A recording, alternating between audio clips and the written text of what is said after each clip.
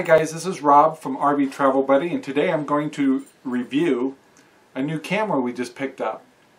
And I'll tell you why we picked this up in a minute, but the camera that we picked up is called a Canon Vixia HF-G40 and this is a camera that we've uh, really wanted to get to uh, enhance the, the videos that we have been doing in the past. And so the Vixia comes in a pretty small box and what we like about it is it's still a very powerful camera but has a lot of capability of the professional cameras. This is the camera right here. It's called the Canon Vixia G440 uh, and typically um, you'll see it with its a little um, hood on here. So let me tell you, I'll uh, give you some close-up of, of, the camera in a minute. And so what we're recording this on is a Canon Vixia HF R600. And that's the camera that we reviewed about a half a year ago. And we still love that camera. But, um, and it is really nice because it's compact and it does a 57x advanced zooming, which is still digital. And what we want is to start moving into better optical zooming. The G40 has a 20x uh, optical zoom range and a 400x digital range.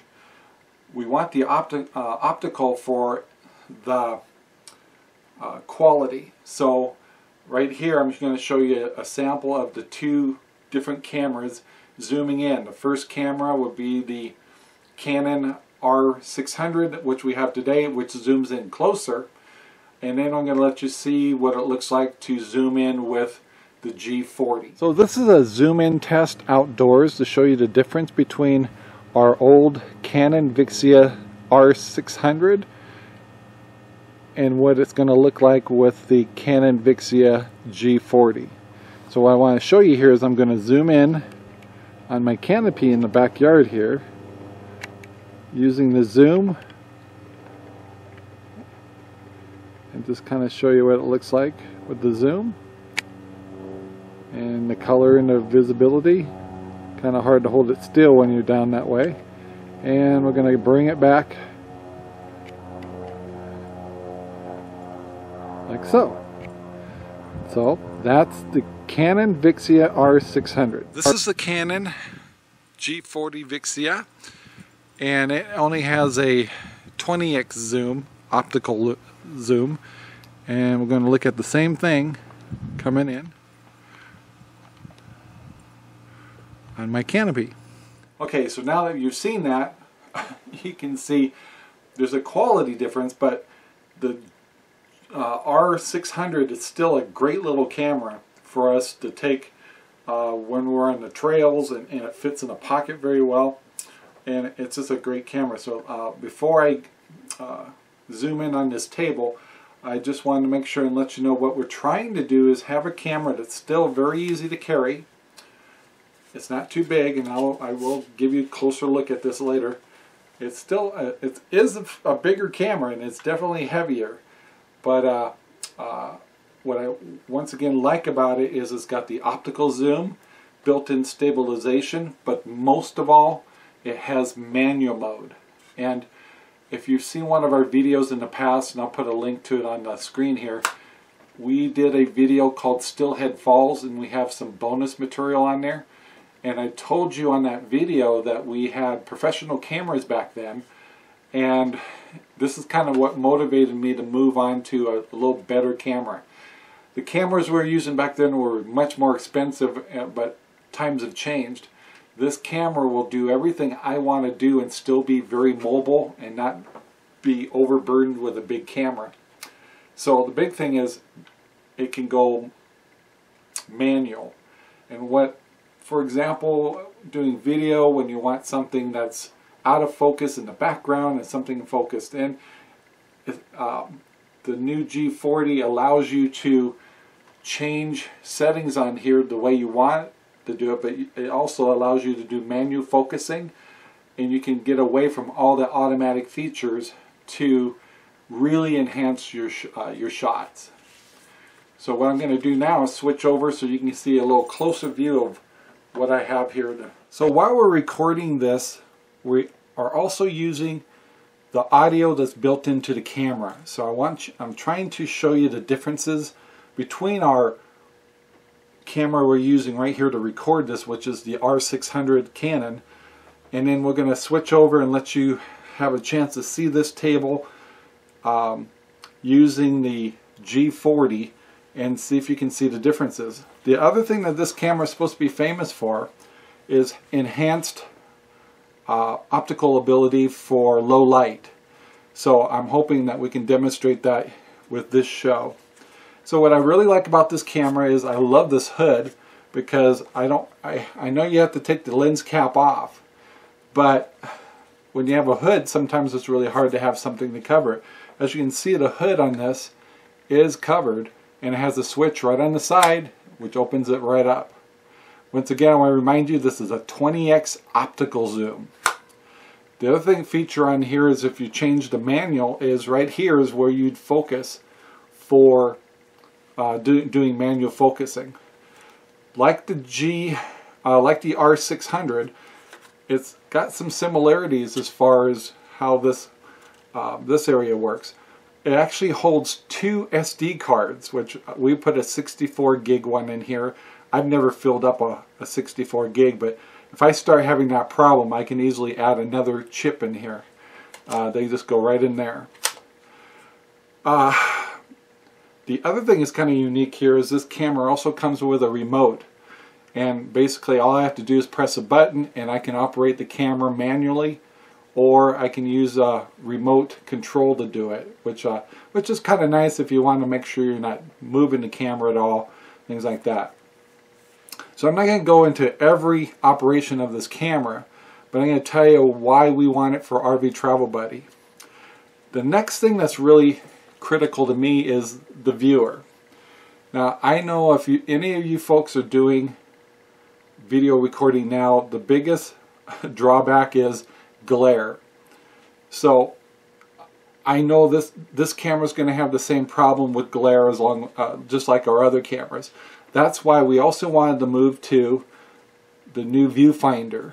And these are really nice because they just pop out, tilt, and now you have a video camera that you could either use with the view, uh, viewer or you can use it with uh, eyepiece and this is what really makes the difference for me is I don't know how many times we've taken shots of mountains and things like that and I can't see if I'm on the target because of the glare so this is very exciting to us to have the, the eyepiece now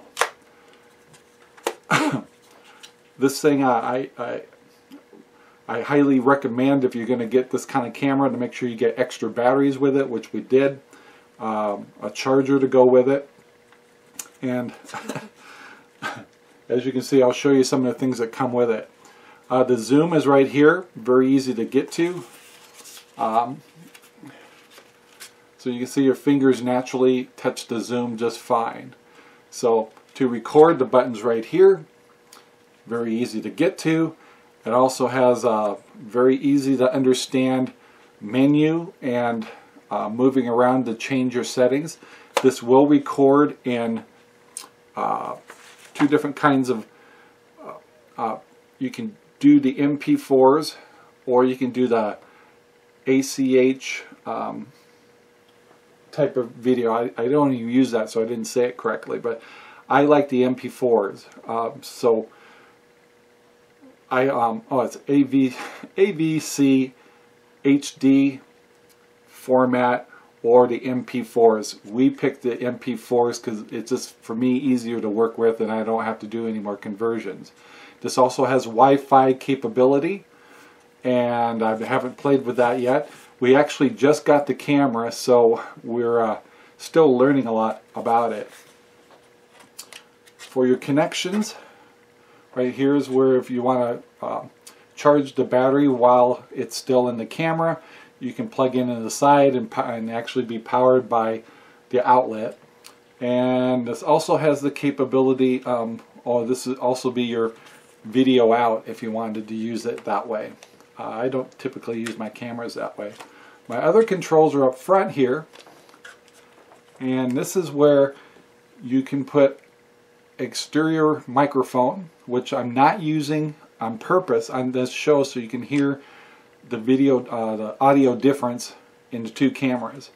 This also has your set uh, hookups for uh, connecting to your computer, connecting directly to a television, and also sound capabilities.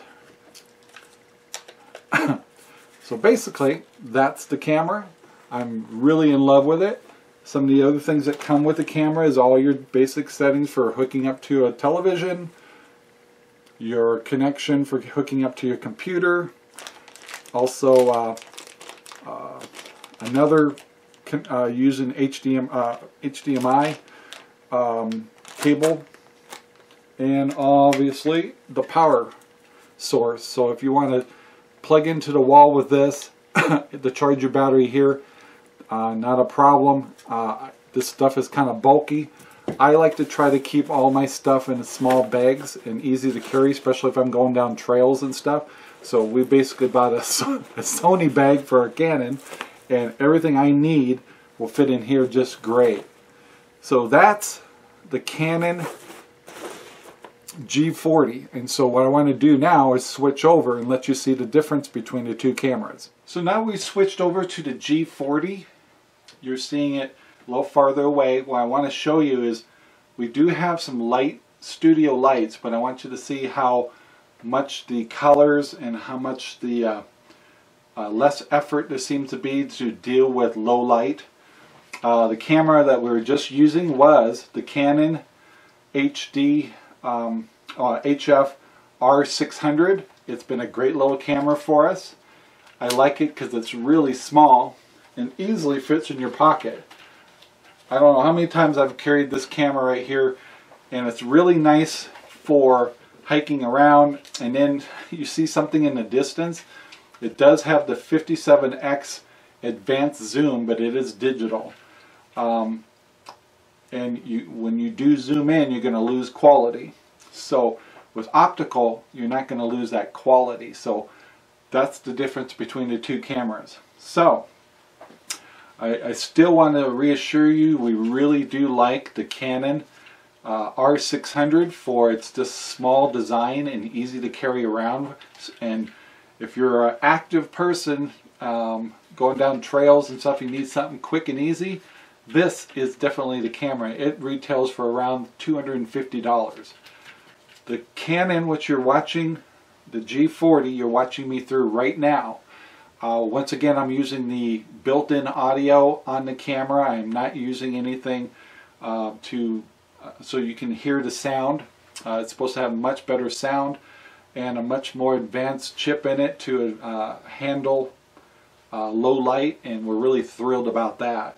So, both of these cameras, you can hook up a external microphone to it, not a problem. So, I highly recommend this for your hiking and all that kind of stuff. The G40 retails uh, for about $1,250 uh, once you get all your support equipment for it, extra uh, a chip and you get your bags for it and I also got extra battery and charger. I like to have I don't like to carry a lot of bulky stuff, so this kind of stuff will not be in my bag. What I will do is have my uh, extra batteries fully charged, ready to go in this bag with my camera.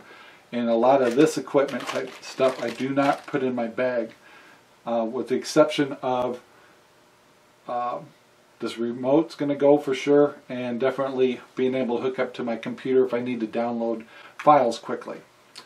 So that's the review of the new Canon HF G40 camera that we're using now for RV Travel Buddy. I hope that was helpful to you. I'm looking forward to having shows in the future with the new camera and we'll try to point out, and we kind of do it on purpose uh, on our shows. We'll tell you when we're using our gimbals, when we're using the camera, the, the Canons, uh, when we're using um, GoPros, just to help you out finding out what kind of equipment you want to use.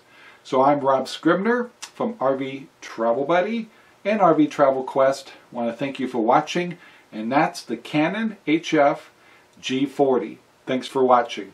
Bye now. Hey, thanks for watching our video. Don't forget to discover our other YouTube playlist. RV Travel Buddy, which is tips, resources, and services. RV Travel Quest, where you can follow Rob and Sherry on their real RV travel experiences.